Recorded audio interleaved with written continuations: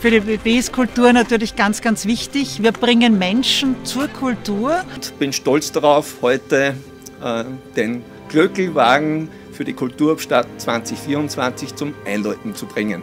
Und mit diesem tollen Projekt äh, wird das Kulturjahr 2024 Salzkammergut Bad Ischl gestartet und wir sind ein Teil davon. Ja, das Glöckelwagenprojekt ist vor zwei Jahren äh, bei uns entstanden. Ne, für uns ist es zentral, dass die Lehrlinge auch die Chance haben, bei all unseren Aktivitäten mit eingebunden zu sein, damit sie die ÖBB auch wirklich spüren in all ihren Facetten und was das Unternehmen Großartiges kann. Und sie können einen Beitrag dazu leisten.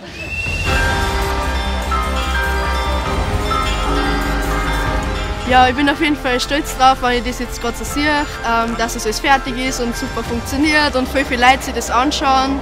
Wir sind stolz darauf, dass wir in dieser großen ÖBB-Familie alle zusammengeholfen haben. Nur gemeinsam haben wir dieses Projekt auch umsetzen können. Zuallererst möchte ich Ihnen danken, weil das ist eine ganz großartige Arbeit, die Sie da gemacht haben. Kreativ, innovativ und mit viel Passion und Herzblut.